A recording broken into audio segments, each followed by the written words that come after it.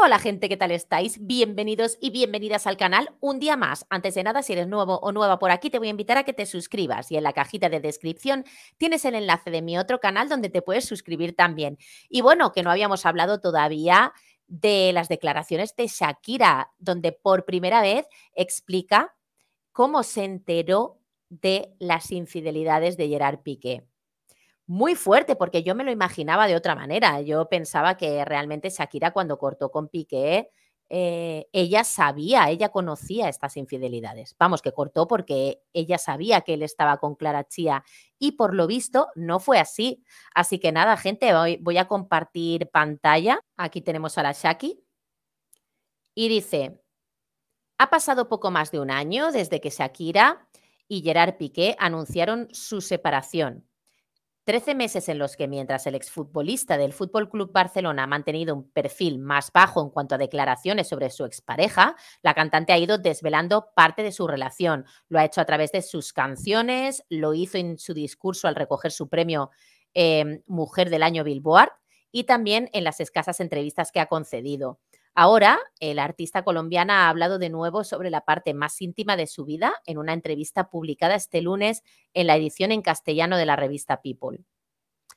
Publicación de la que es portada, pues encabeza su lista de los 50 más bellos de 2023. En ella, la cantante asegura que se enteró de la traición de Piqué en un momento particularmente duro, mientras su padre estaba ingresado en el hospital.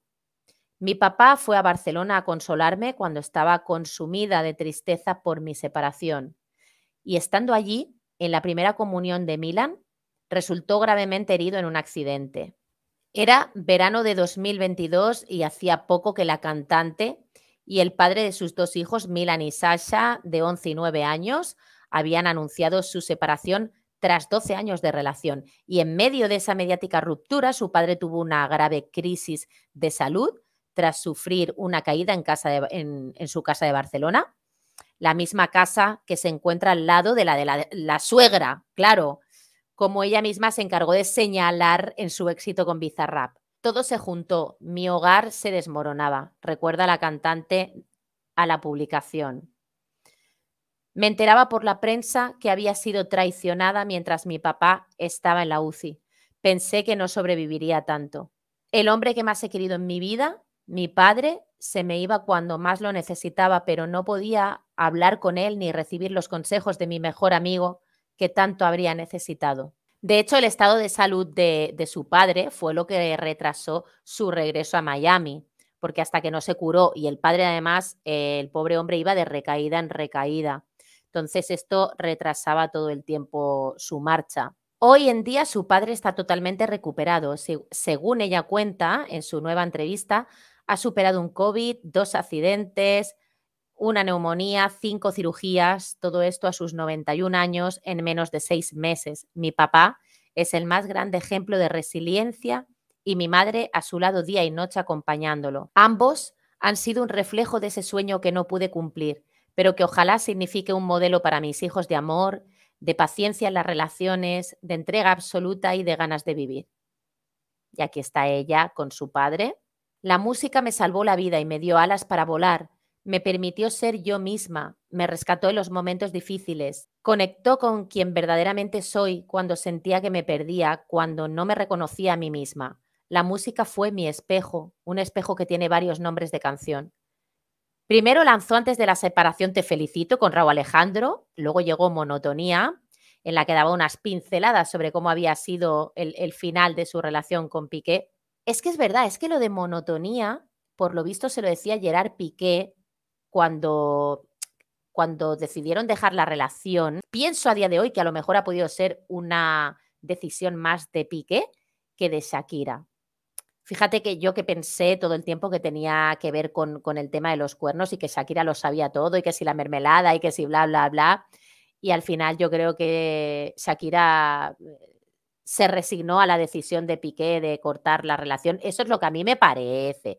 Eso es lo que yo, a mí me parece, por lo que está explicando aquí. No digo que sea así, pero me da la sensación de que Piqué la dejó con la excusa de no, no ha sido culpa tuya, tampoco mía, es la monotonía. ¿sabes? ¿No? Como diciendo, bueno, ya no siento lo mismo, em, la monotonía nos ha matado. Y bueno, yo creo que esa es la excusa que le puso Piqué a ella para dejar la relación. Claro, cuando de repente Shakira está tan mal que su padre viaja hasta Barcelona para estar con ella, ¿no? Con tan mala suerte de que, de que sufre un accidente que le, le tiene ingresado en el hospital gravemente, además, durante tanto tiempo, pues Shakira no me extraña que se sintiese eh, tan mal. Ella realmente hay una frase que dice, no creí que sobreviviría a tanto. Lo de Gerard Piqué a ella la dejó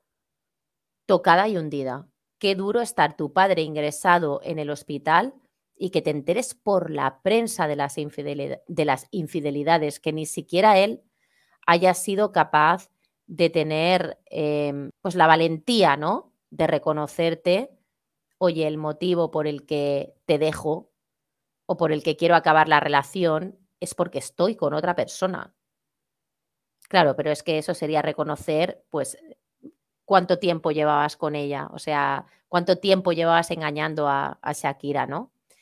Yo es que en el fondo entiendo perfectamente que ella haya estado tan dolida, haya estado tan despechada, si lo quieres llamar así, dolida, herida de muerte, o sea, eh, de todo, porque yo creo que cuando quieres muchísimo a una persona y tú te imaginas toda tu vida con él, además tienes tus hijos y tal, mm, esa persona te regala el oído y te dice lo que quieres escuchar y tú te piensas que eso va a ser eterno, de repente enterarte de que el motivo por el que te deja es que te ha estado engañando con otra, wow, qué fuerte, tío. He pasado por la negación, la rabia, el dolor, la aceptación, el duelo, la, la esperanza, la decepción, la esperanza otra vez, ilusión, tantas emociones y sentimientos que a ratos parecían encontrados, parecían que no podían coexistir al mismo tiempo dentro de mí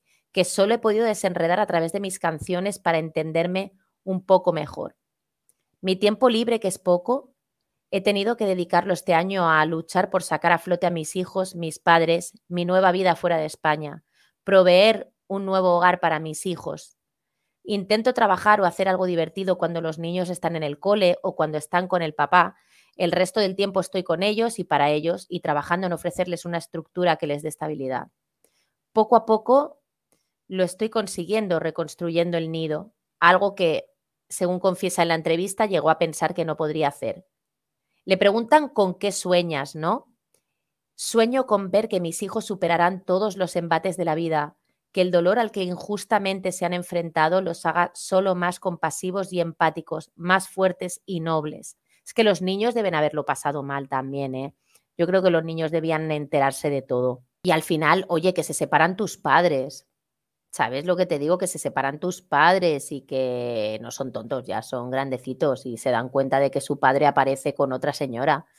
O sea, que puedan llegar a ser enteramente felices y puedan algún día disfrutar de una familia con la que no pudimos ofrecerles y que puedan llegar a ser hombres libres pero de bien. Felices pero cuidadosos con los otros, que cuiden de sus futuras familias con valentía y honradez que tengan valores y un propósito en la vida que trascienda más allá de ellos mismos. Otro dardo. Y bueno, gente, oye, hasta aquí el vídeo de hoy.